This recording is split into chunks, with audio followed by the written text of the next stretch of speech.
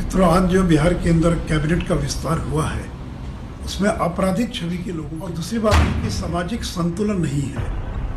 इस मंत्रिपरिषद में राजद की ओर से ललित यादव, रामानंद यादव, सुरेंद्र यादव, कार्तिक कुमार, ये ऐसे नाम हैं जो आपराधिक पृष्ठभूमि के लोग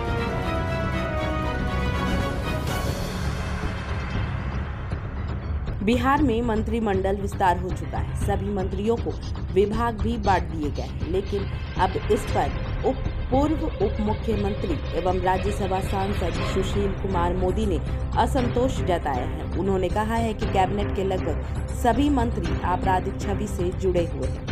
इनमें कई मंत्रियों का आपराधिक रिकॉर्ड भी रहा है। सुशील कुमार मोदी ने बयान जारी कर कहा है कि बिहार के अंदर आज जो कैबिनेट का विस्तार हुआ है, उनमें आपराधिक छवि के लोगों की भरमार। मित्रों, आज जो बिहार के अंदर कैबिनेट का विस्तार हुआ है, उसमें आपराधिक छवि के लोगों की भरमार है। और दूसरी बात कि सामाजिक संतुलन नहीं है।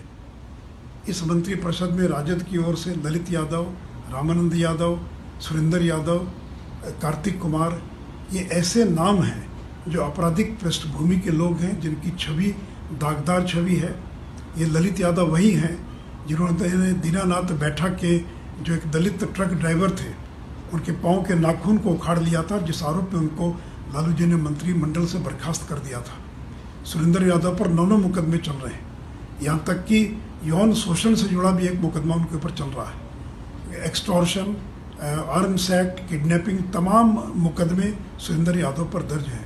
रामानंद यादव कार्तिकेय कुमार की भी वही स्थिति है। और ये ऐसे नाम हैं, जब इलाके में चलते तो लोग उनके नाम से डरते हैं।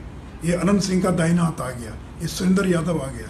तो नीतीश जी, आप किस मजबूरी में इस प्रकार के लोगों को मंत्री बना रहे हैं? और दूसरा ये कि दो वर्ग के लोगों को तैंतीस प्रतिशत जगह दे दी गई, और बाकी बेचारे तेली समाज का एक मंत्री नहीं कानक जी एक मंत्री नहीं काय समाज का कोई मंत्री नहीं, राजपूत समाज की संख्या घटा दी गई। तो ये कोई संतुलित मंत्री परिषद नहीं है। हम लोगों ने तो अति पिछड़ा समाज से आने वाली रेणु देवी को डिप्टी सीएम बनाया था। हम लोगों ने वैश्य समाज के ताकिशोर जी को डिप्टी सीएम बनाया। आपने किसी भी को अति पिछड़ा को डिप्टी सीएम नहीं बनाया। असंतुलित